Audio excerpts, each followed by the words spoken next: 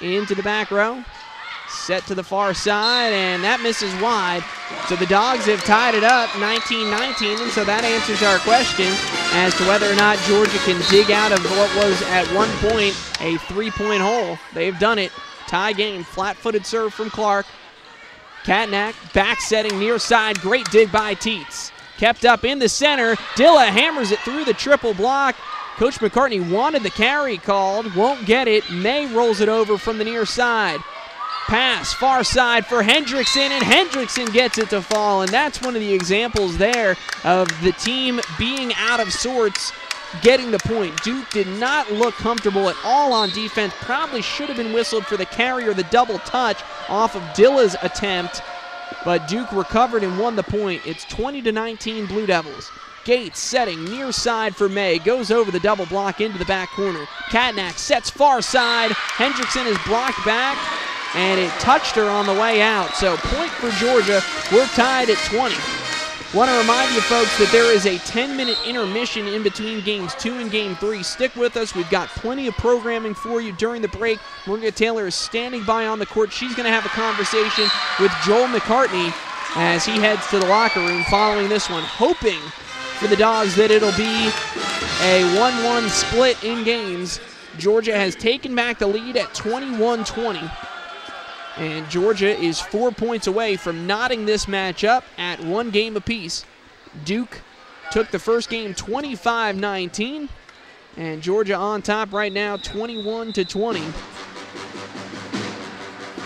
And in two years, one of the largest crowds I have seen here at the Ramsey Center. And for opening weekend, there's no other show in town. In fact, uh, volleyball is competing with soccer up the road on Milledge Avenue taking on Florida Atlantic. The Soccer Dogs leading 2 0 at halftime against the Owls of Florida Atlantic. No football home game in town, and a couple of uh, G Extra covered sports here soccer and volleyball.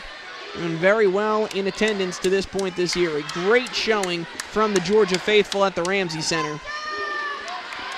21 to 20 coming out of the Duke timeout, the first time that Georgia or the second time that Georgia has forced Duke's hand in calling the timeout. Duke took one down 8 3, so the Blue Devils are out of timeouts in this second game. Georgia has one left. Carla Teets, the Libero, serving for the Dogs. Good low serve, and Duke can't return it. Great serving right at the Libero. That's Smalzer, the best defensive player out on the floor for Duke wearing that opposite colored uniform, and she couldn't come up with the dig. Phenomenal serve by Teets. Now 22 to 20, Georgia leading.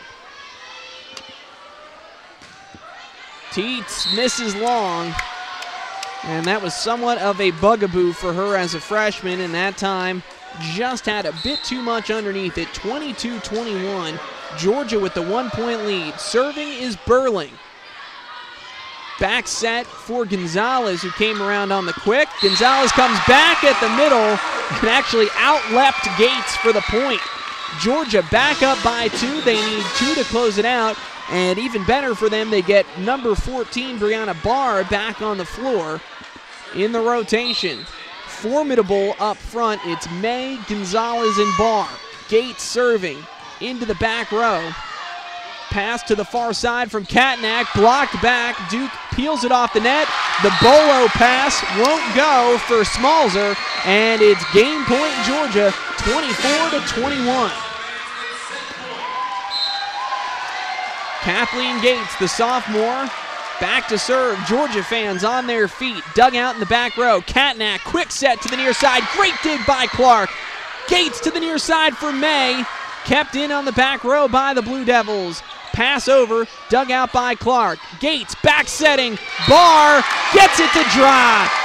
The lefty kill ends game number two, and Georgia bounces back from the 25-19 loss. They'll take game number two by a 25-21 score.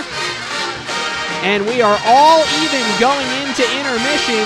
A reminder, Maria Taylor is standing by courtside to talk with head coach Joel McCartney and a phenomenal showing there for the Dogs. I mentioned they dropped the first two games of the Georgia Tech match before coming back to take the next two and send it to a fifth game This time they wasted no time. After dropping the first, they come back immediately with the equalizer and take game number two by a 25 to 21 score.